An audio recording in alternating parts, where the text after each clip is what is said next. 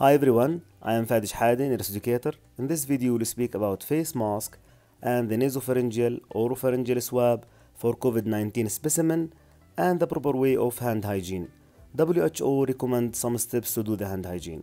Here we put colored uh, alcohol and we are using like regular way how many people actually using this way and uh, we find that the alcohol did not reach to the all area of the hand. There is some area did not covered by alcohol.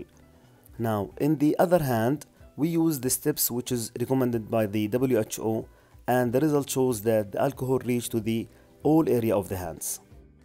So in, in these two videos, we combine both of them together. In the right, the proper way as per WHO recommendations. and the left one, the regular way of hand hygiene. Now they took the uh, almost the same amount of alcohol, the same duration, which is around 20 seconds, but the result shows a like significant difference between uh, both methods. So let's start by put sufficient amount of alcohol, rub hands palm to palm, then right palm over left dorsum with interlaced fingers and vice versa.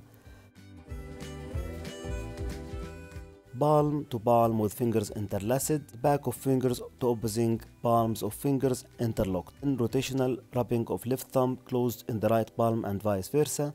Then rotation wrapping uh, backward and forward close fingers. Your hands safe. Using face mask, not something new. It has been used more than 100 years back. Now the recommendation should be used by the sick people or who is taking care of sick people. Face mask has two colors. All the time, the colored one should be outside. The white one should be inside.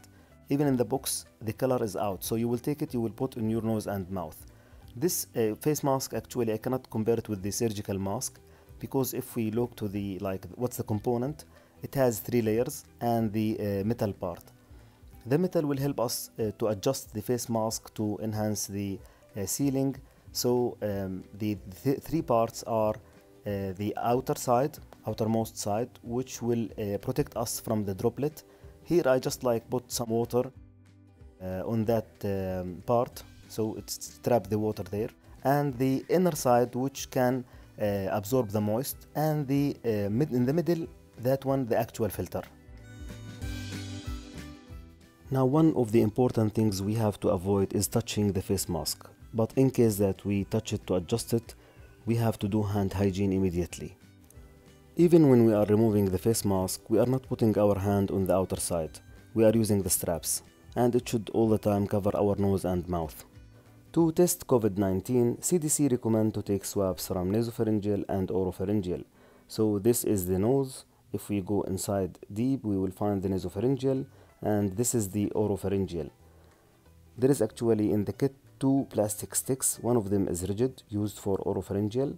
The other one is flexible, used for the nasopharyngeal.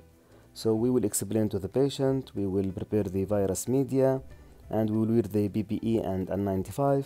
Then we will measure the distance between the nose and the ear loop. So the half of this distance will enable us to go to the uh, nasopharyngeal. So I will go inside until I reach to the uh, nasopharyngeal.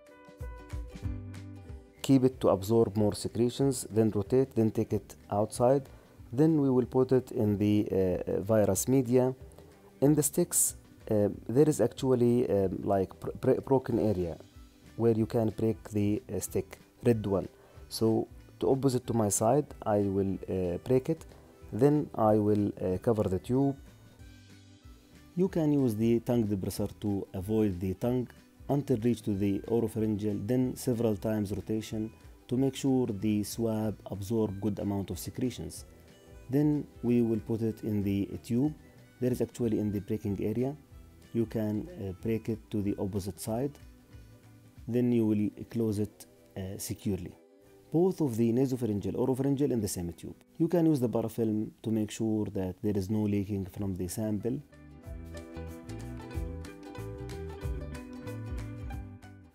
The sample should be kept between 2 Celsius to 8 Celsius. Here we are using the ice chips. We are not putting the sample directly to the ice. It's in the, in the second bucket. Make sure that we are labeling the uh, sample and we will send it to the lab. Thank you so much.